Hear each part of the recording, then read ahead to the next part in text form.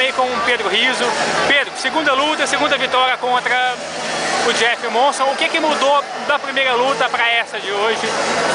Nada, a tática foi a mesma, mas eu me cansei um pouco no segundo round. Não pude fazer o treino na forma que eu, que eu queria, estava meio cansado, mas deu tudo certo.